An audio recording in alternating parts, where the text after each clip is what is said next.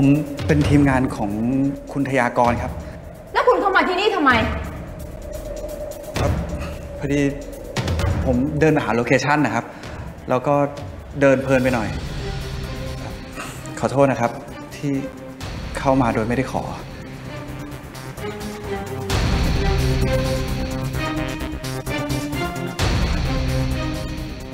คุณออกไปได้ละ คุณทยากรไม่อนุญาตให้ใครเข้ามาที่นี่ครับขอ โทษนะครับเอ่อคือเมื่อกี้ผมได้ยินเสียงคนทำของตกข้างบนนะครับ มีใครอยู่ที่นี่อีกหรือเปล่าครับ ไม่มี ที่นี่ไม่มีใครอยู่ อ้าว แล้วพี่ไม่ได้อยู่ที่นี่เหรอครับ เออคุณทยากรจ้างให้ฉันมาทำความสะอาดที่นี่ แล้วก็ดูแลความเรียบร้อยของที่บ้าน คุณรีบออกไปเถอะ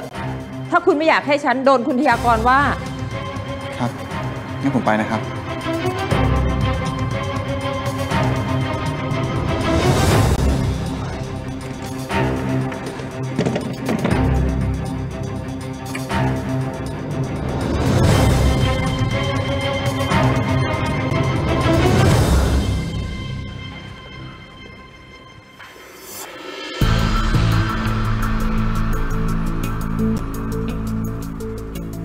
คุณทำอะไรอะ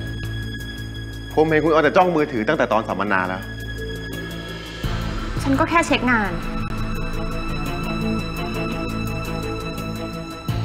แค่เรื่องงานจริงเหรอถ้าคุณคิดจะสืบอะไร ผมบอกไว้เลยนะ ว่าไม่มีประโยชน์ เลิกคิดซะ ฉันไม่ได้จะสืบอะไร